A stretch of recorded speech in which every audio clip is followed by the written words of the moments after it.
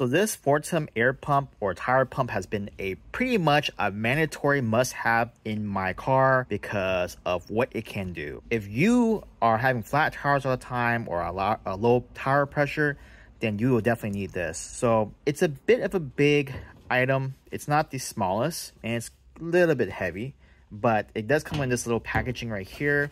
And with it, you get, of course, a little booklet, air compressor guide, and you get some of the bits. So if you have other, uh, let's say things you know, a pump, maybe basketball or maybe a bike tire that can do it too. The way it works is pretty simple, right? You have the on and off switch and there are two variants of this product. I have the one that's just the direct 12 volt plug that goes into your car.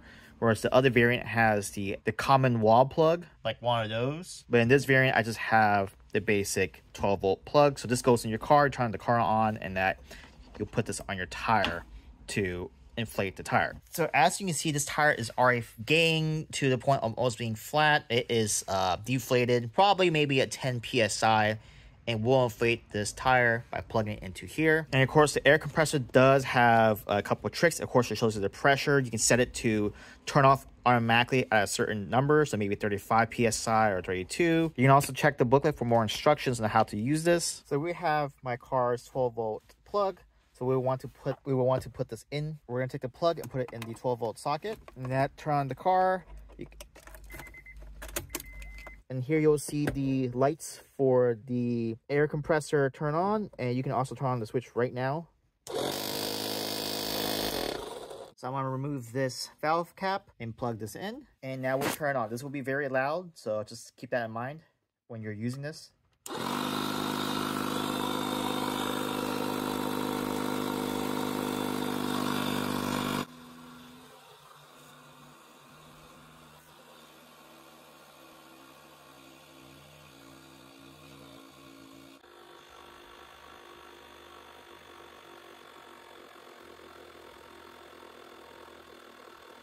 So as you can see, now it's at 35 PSI. Uh, that took about maybe over 10 minutes of actual in real time because this is pretty much almost flat, zero PSI.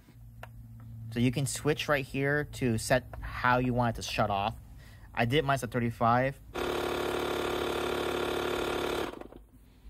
And as you can see, it shuts off because it's already reached the max uh, PSI that I set.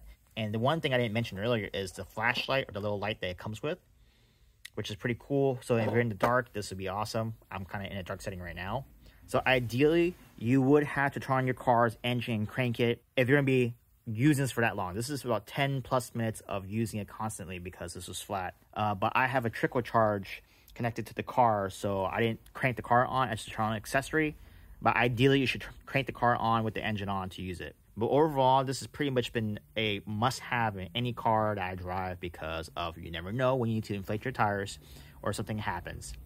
So now that it's off, I can take out the stem right here and go like this, and it's out. And you can use it to read the, the PSI too. So you see it dropped a little bit. That's because this tire has a, a bend or something in the behind, so it is been leak it has been leaking air pressure intermittently. So there is a defect with this wheel and tire. But that's why I have this here so I can pump it anytime. It's that straightforward to use. It is a bit bulky, so that's something I keep in mind. It's not light. And as you can see in the setup, I have it plugged in right there to that socket, and voila. Now I can't live without one of these in my cars.